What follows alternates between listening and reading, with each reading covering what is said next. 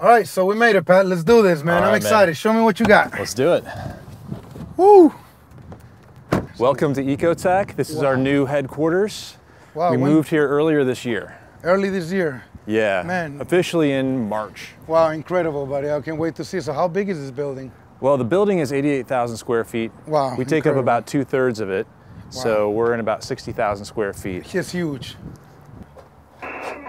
Hello. Wow. Hi, it's me.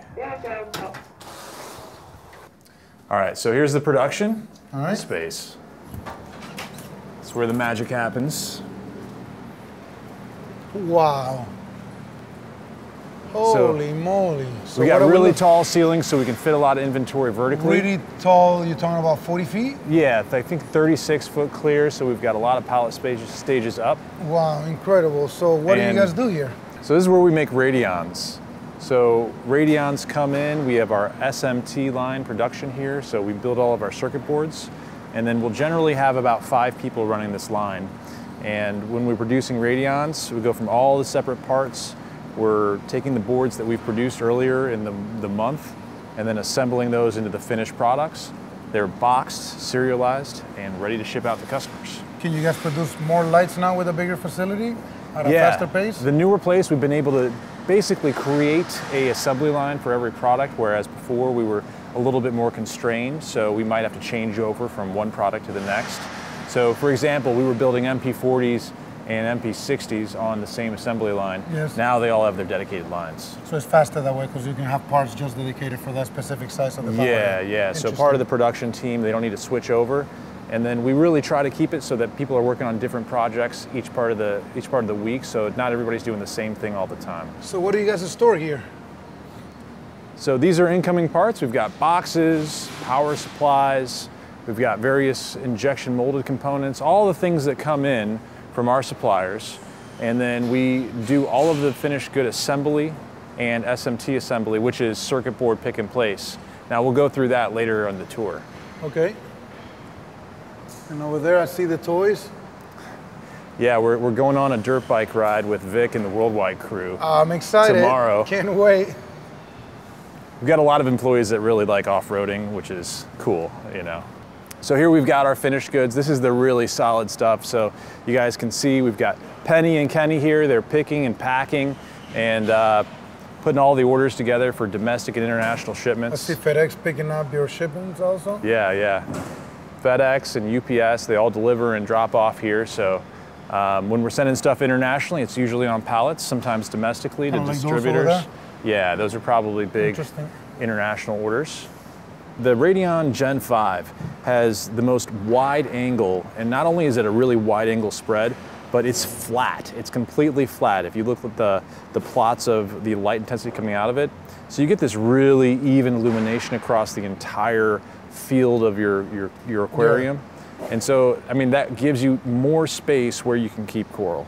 I mean, I think that's the biggest benefit that you guys might see at Worldwide is that all of the space of the aquarium is usable. Yes, we switched from Gen 4 to Gen 5 and um, most of the retail stores so far, and we saw a big improvement into the lagoon tank. Mm-hmm. I think we have, I want to say maybe 13 lights or 14, I'm not sure of the exact number.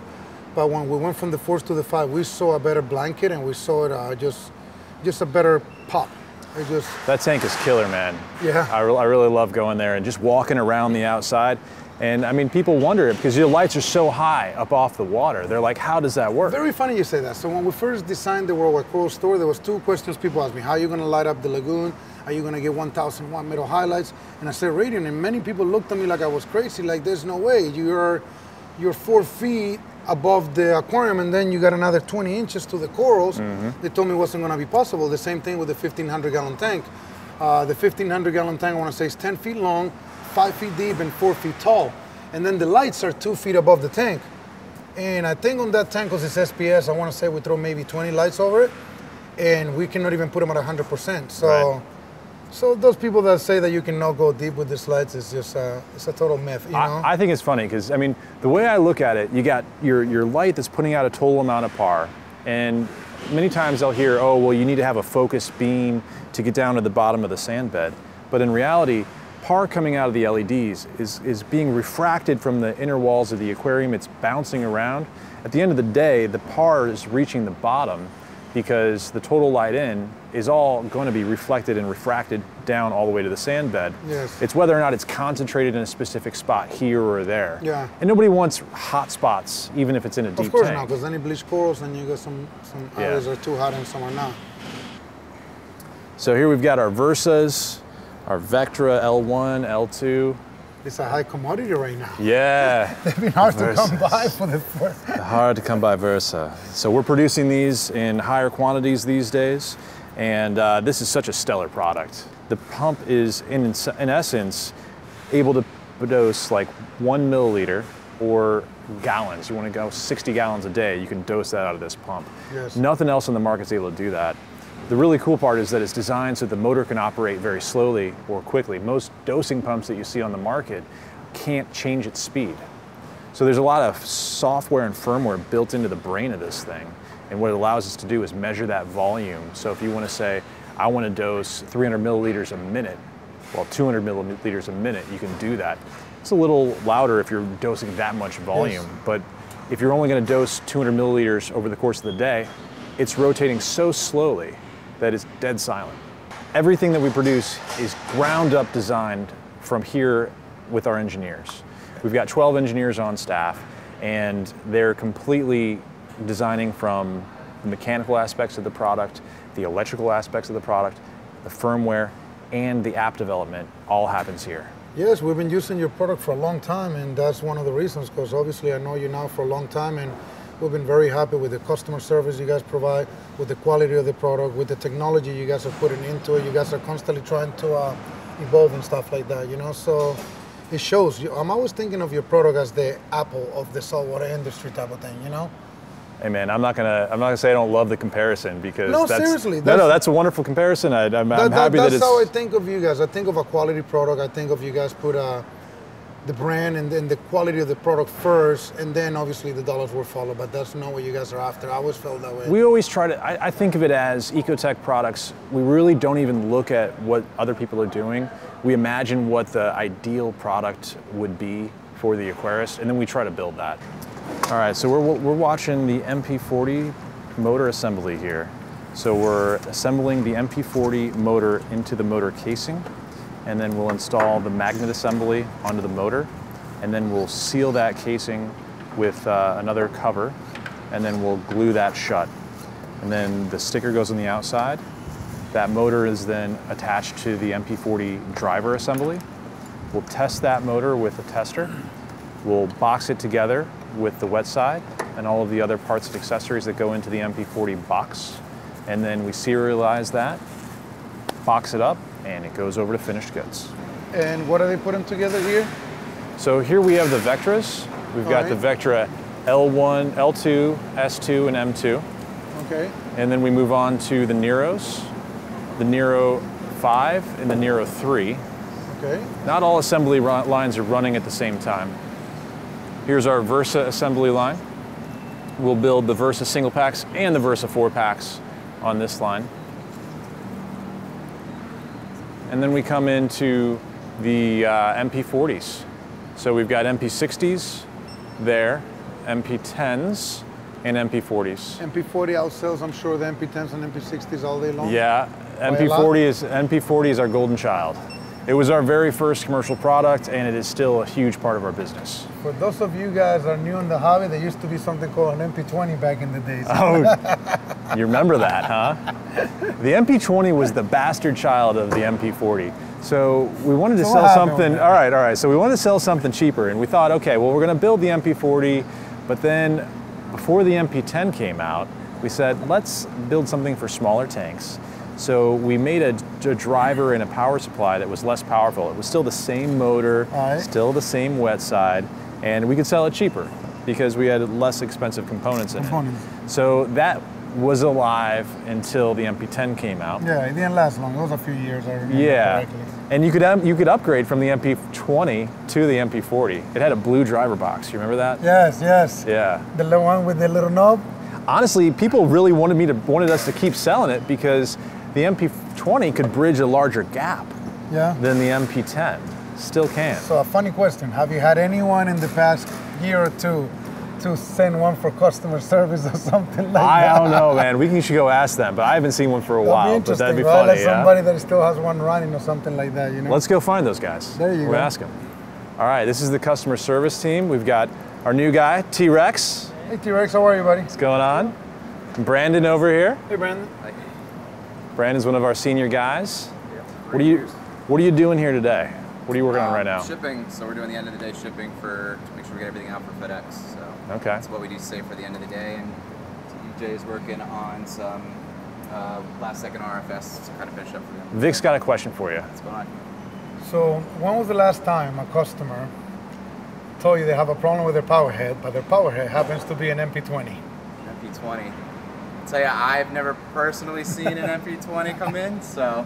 um, so it hasn't we- happened. I think a couple of weeks ago we did see one of the original MP40s come in, so that was pretty interesting. Okay. There you Then go. it's the same generation. Yeah, we were, it was like kind of weird because we just had the up and down knob on it, no buttons or anything. The little- the little down, thing that and the- Oh, you're it. saying the metal box? Yes. yeah. Oh, that No. was before the MP20. I don't even think I've seen that. That was before So the I MP20. I was shocked because like I've been here for quite a bit. and it was still running. yeah. So, do you have an MP20? Uh, we have the boxes. We can go look at them. We have the So- blue boxes. So, if any of you guys out there have an MP20, we want to get a hold of it. Contact us at worldwidecorals.com. Send us an email. We're interested on that powerhead. We want to put it into Ecotech Museum. no, we'll sponsor you. If you've got an MP20 out there, we'll replace it with a brand new MP40. If you can prove that it's still working. only one, only, Only one. one. First one. First first come, first serve. first come, first serve. You got an MP20. You show us a video that is working. We will send you an MP40 yes, and you a send working us an MP20. MP20. back. Deal. All right. All right. Sounds good. We got a deal. All right. Thanks, bud. You guys carry a lot of the Nyos products, right? Yeah, we carry the full array of Nyos products. Um, we I love their protein skimmers, the by the way. skimmers They're are such a high amazing. quality. Absolutely, they're they're quiet and they're just really well thought out and well put together. They're out Servicing of them. Italy, am I correct? Or Uh, Germany. Germany? Yeah. Germany. Very high quality product, Yep. right? They're also coming out with a new version of the torque reactor, and that's Okay. a really popular way to filter with different medias, and it's a quick interchange uh, For body. different sizes of medias and stuff like that. Yeah, so you can just swap it out. You pull it out of the dock, and you can swap the media very easily. Interesting. I want to check one of them out. They also sure. have a salt coming out very soon. You serious? Yeah. Oh, interesting. Yeah, All right. and I love their foods. The gold pods, just amazing. What do you Here got we're coming in for uh, this is our SMT room. Oh wow. Yeah, so we have Oh, two. I remember this room in the old building. Yeah, This is all these crazy machines. we have two fully functional SMT lines and a selective solder machine. so you tell me what I'm looking at here. This looks like old film here. What are we looking at, Pat? So these are all the components that we use to place on the circuit boards, and uh, we're creating all of our boards in-house. So we first engineer and design them, and then these machines populate the boards with all the components that we set out. And as we go through the assembly line process, we place the components onto the board. First, we lay down a layer of solder paste. The components are placed, goes through an oven, then it goes through an optical inspector, and then we take those panels, break them down, program them, program the panels, and then those panels are brought out to the assembly lines to create the products. Wow. So there's a lot of brain power in here, buddy. Yeah, there's a lot of engineering that goes into the design. So this is really cool. This is the um, circuit board pick and place machine. So here we're picking Ooh. components off of the reels, and as you go in there, you can see this thing is going to be It's so explosive. fast. Why? I noticed that. Is this the That new one? that one's stopped. Here, come check this one out. It's still running. Oh wow. What? It's so fast, it almost disappears while it's moving. What is this, bro? so, Pat, do you even know how to work this machine? A little Oh bit. no, no, I don't. No one lets me touch these. So here you can see we're, we're actually assembling Radion LEDs onto the XR30 cluster. So as they come out, they, they stop and they move on to the next stage. And here we're going through the oven and the oven reflows the solder. So there's different zones for Okay. each part of the machine. And as it moves through the process, it goes through a cooling step, and then finally it goes through the optical inspector. All right, so here we're going to look at uh, the actual solder joints of all of the LED clusters, all of the LEDs and the different parts that have been placed onto the board.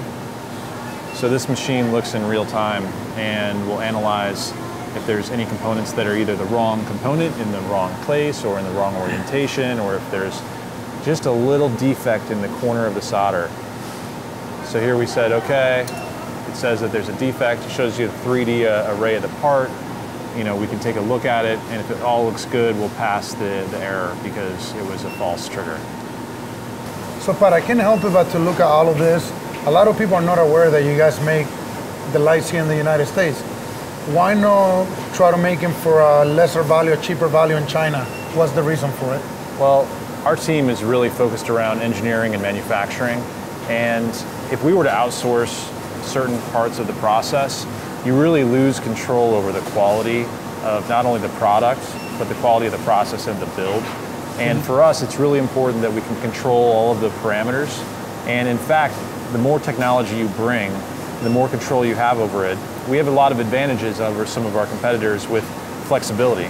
If we find a quality problem or if we need to make an engineering change, we can do it on the fly. If you've got all of your products outsourced to a third party manufacturer, that becomes, becomes a long chain of events to make a correction to something that might be You have a good point. So that's the main reason. Well, I love it. It just really shows how clean, how good of a product you guys produce, you know? Yeah, absolutely. I mean, we're really proud of the team here. You know, we have so many people that contribute to creating Ecotech products, and you know, without the team, we wouldn't really be able to accomplish So it's funny you say that. I've been coming to your facility for many, many years now, and I keep seeing the same faces over and over. You guys are really good at holding your employees. You guys are like a small family, you know? Absolutely. So it really shows in the product again, you know? we got all the things that come along with the family with that too. Yeah. We're, we're, we're dedicated. We really enjoy, uh, you know, our working environment. We try to make this a really fun place to be. We've got aquariums. You know, we're getting into terrariums, and we- maybe we can show you guys some I- of that. Yeah, sure. Uh, you were telling me something about that, and I know Tim, um, one of your partners, is into that. I remember the old facility. Yeah. There was all kinds of cool reptiles. Yeah, we've got stuff. over 300 reptiles and amphibians, and we're Oh. breeding them.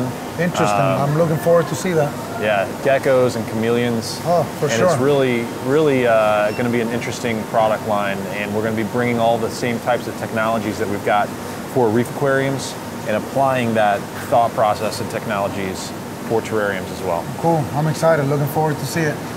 So this is like a little array of a demo aquarium. And so we've got all the different products here for app development. And so the engineers can basically control everything with Mobius and then make sure everything's operating in the way it should and creating workflows or shortcuts so that if you want to have different modes or interoperability, we'll be able to accomplish that very effectively. Gotcha. So here we've got some MP60s, I two see. MP60s in a real small tank. Two XR30s, right? You guys think this is a bit ridiculous with the sizing bit. of the tank. Um, we've got a Versa and we've got a Vectra on the inside. Love it.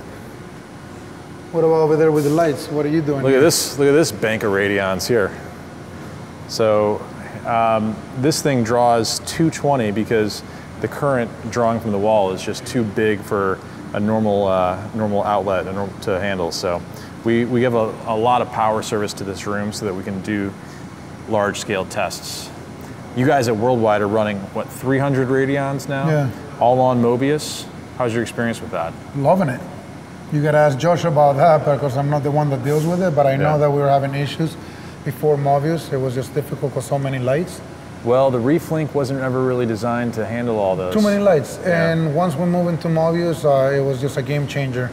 And that one feature that you guys showed Josh and the crew last month, they Yeah. keep bragging about it. They love it. Yeah. What is it called, that feature? Um, so you can create shortcuts and scenes. Yeah, shortcuts, that's what- Scenes, scenes, really. that's what it was. And so if you want to have a photo scene that you can take photography of your products or of the corals, you can set that up. You can change and tune this tune the spectrum, and then you can select which lights it'll affect to. At the same time, you can lower the intensity of your pumps or turn your pumps off. So if you want a photo mode, turn your Vectra off, turn your Vortech off, turn your Radions to that a made our life so much easier.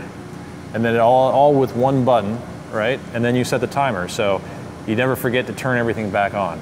You know, And say uh, right 10 back minutes, boom, back to normal. This is an FDM, and we're making prototypes of aquarium mounting components here. This is a form of 3D prototyping, rapid prototyping. And what do we have here, Pat? All right. This is our uh, office, all of our office team. We've got accounting, supply chain, sales, There's and customer service. a whole service. lot of cubicles here. Looks Yeah. like 40 cubicles or something like that. How's it going? All right. Mike, you coming tomorrow? Yeah, All right, Mike's coming with us, guys. I am in. How many of us are going to be tomorrow, you think? Yeah. How many do you think we're going to be riding tomorrow? Uh, three or four bikes. Four bikes, Four? three bikes. With Three bikes. If anybody wants to ride another with a bike. backup. I might jump on one. We got uh, Josh on the quad, yeah. and then I think we have four side by sides. What about Jay? Jay is gonna either Side by be on a bike or, or he's probably gonna be on a side by side. Probably gonna be a side by side. Yeah. All right. We're just setting this aquarium room, so there's a lot of future work to be done, but we've got the bare bones. Oh, wow, this is cool. Love it. Water box tanks. Yeah, so we just set these tanks up and we're filling them with inhabitants and we're going to use this room to kind of demonstrate products and show people what you can do with Radion and Ecotech Vortech. Wow, we're going to be gluing some corals, I heard. Absolutely. Worldwide corals, we're going to be putting in all sorts of, um, I think we might do different tanks and kind of set up some different themes for each one. I But right now we're just getting the systems established. Love a little room dedicated just for corals. Love it. Cool. Can't wait to see it when it's just fun finished, you know? I hear you guys putting a 300 gallon tank in here. Yeah, we're going to bust a hole in this wall and I th- I'd love to have a peninsula tank so we can have people in the shop enjoying Maybe we can come over and install it for you guys. Yeah, yeah. Enjoying wouldn't be a the, uh, the coral room from the, uh, from the outside too. Cool. We have a, a very extensive quality control system and we can spe- sneak a little peek into uh, one of the tests that we, fixtures that we use for the Versa. What is this? So we can test about 70 Versas at a time. And so this is how we run and do uh, total lifetime testing on the tubing. And we can test all sorts of different parameters. So this is similar. time. This is similar to when you you ever go to IKEA Mm-hmm. and they got the little robot banging the little Yeah. cushion thing. Like closing the yeah, cabinet and door it tells you like okay, times. yeah, like two million times, you know. Right. Same thing you guys are doing. Incredible. Yeah, and this is a humidity and temperature controlled environment here, so we can simulate a lot of different conditions. Wow, interesting. I love it, man. They, you guys see, they go above and beyond for everything, guys. All about quality. So what do we have here? All right, this is our uh, machine shop where we do a lot of our prototyping for new products, and sometimes we do production operations as well. So what gets built here? So here we're doing quality control, and then we're creating fixtures for the assembly lines, as well as sometimes doing operations on parts that need to happen for production. These are our interns for the summer. Who are you guys? And uh, so we really need a, a nice group of folks to be able to support all the different aspects that go into running a shop like this. Wow. So this is, uh, we have two CNC, mil- CNC mills, a three axis and a five axis CNC mill. Uh, look, Haas team. That's the Formula One team. Yep. All US Haas CNCs. And then over here, um, Doug here is running uh, a test for incoming quality. This is called a coordinate measuring system. More quality. Yeah, lots of steps to this process. So here he's measuring all the different 3D geometries for an AI Nero pump. So this is the Nero 5. And so this machine can come down and it's so incredibly sensitive to Doug, what's the what's the fraction of an inch? Uh, we're down in the millions. A millionth of an inch accuracy in three dimensions. So So always touching right around the thing without touching it. yeah, he's measuring the ceramic shaft there. And you got to do that with each single piece. for now until we know more about the parts, and then maybe we can go to a sampling. Gotcha. some Interesting. Wow. So a machine like this can measure so many more dimensions and create so much more data than you can with traditional calipers that we really have an idea when we design a part and how that part differs from the actual part Yes. post production. So it gives us an ability and we can give our suppliers a lot more feedback about what needs to change and a lot more control over the quality of every step of production. Oh, you want to talk about these? Yes. All right, man. This is uh, this was a top secret project. Um, actually, when we were building this building, um, these are electric go karts. We may have tried to modify them to double the power, And and, it may have go gone well. pretty badly. so, they're, they're sitting here in pieces now, but So they're broken. yeah, we were had we had some good fun. How do you turn? Oh my lord. Yeah, yeah. All right. This is a joyride. Not quite the go karts that you have out, And you out can. in Florida. Uh, he's got a handbrake to slide. yeah, yeah. Drifting. You see that, Tommy? Tommy's our camera guy. He's into cars too, guys. So we haven't quite unpacked from the All right. move yet. So We're gonna go now see the museum? Let's go take a. Let's go assemble the museum. Let's go. And they're not hurt you. They're not aggressive. Anything. No. go, go.